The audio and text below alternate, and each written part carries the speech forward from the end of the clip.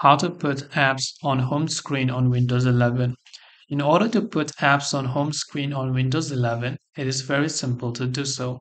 First of all, let's say there is a certain application, right?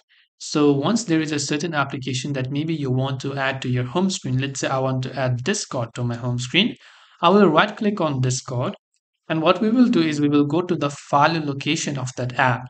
So when we go to the file location, it will normally take us to a shortcut.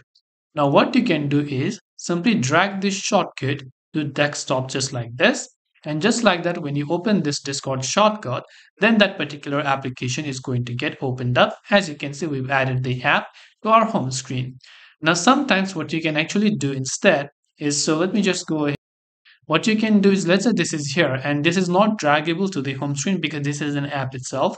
You can right click on it and click on the create shortcut option for this. And once you click on create shortcut option then you'll be able to add this to your home screen.